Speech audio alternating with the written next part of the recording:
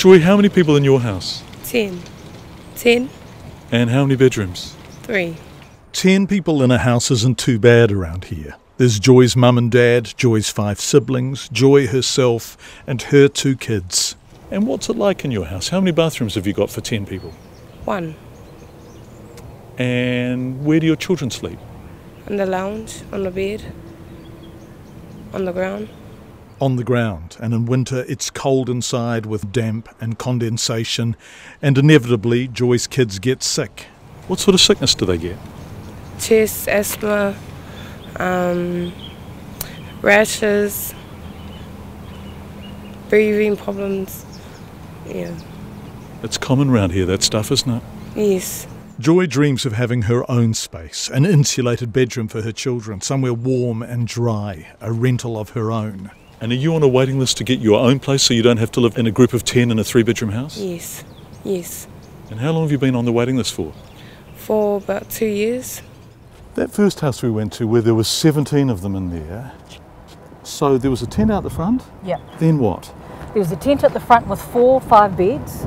Um, there's 17 people in, uh, in total living in this house, but they also had uh, people living in the garage out the back, and they had a caravan parked there.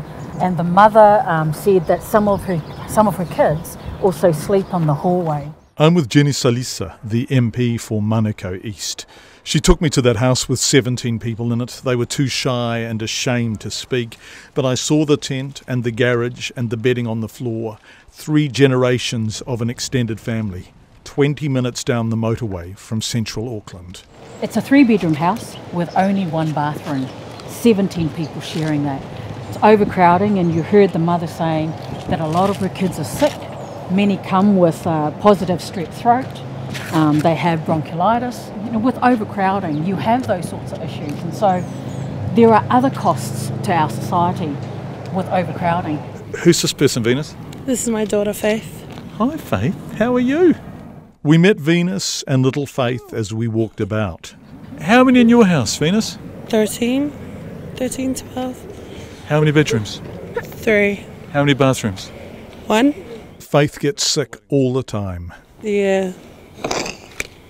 Oh, I can hear that now. You're chesty now, aren't you, little girl? Yes, you are. Wow. So, what's it like in your house? How crowded is it? It's crowded, eh? Yeah, it's crowded. Very crowded. There's like so many people. Everywhere you go, there's somebody. so, yeah, it's crowded. And dusty. And furry. And cold? Uh, Does it get damp? Yeah. Does it get It's mouldy? really cold, yeah. Like where the windows and then all the wetness. Condensation. Yeah.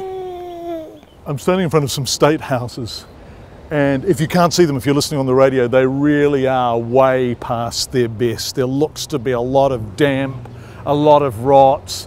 They really are in very poor condition, but there is a waiting list for these. If you can't get up the waiting list, if you can't get into a state house, you can go private.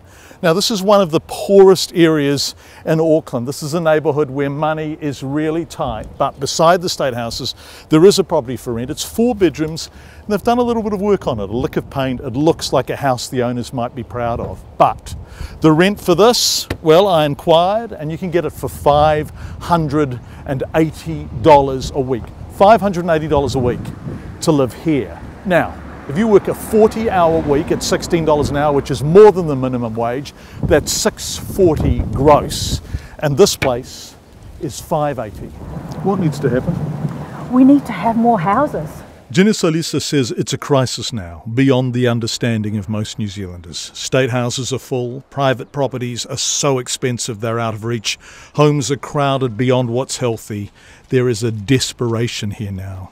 Where are those families going to go? Where are they going to live? Jenny, do you think people who don't know these communities, who don't know Otara, who don't know Mangere, who don't know this part of Auckland, understand how bad the situation is here? I don't think they fully comprehend just how bad it is.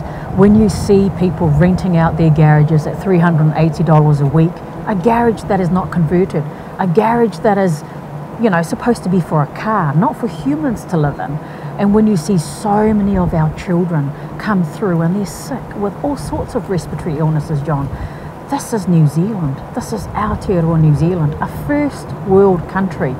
And yet I see this many families who don't have a place to live, who are living in their cars, working families living in their cars in New Zealand.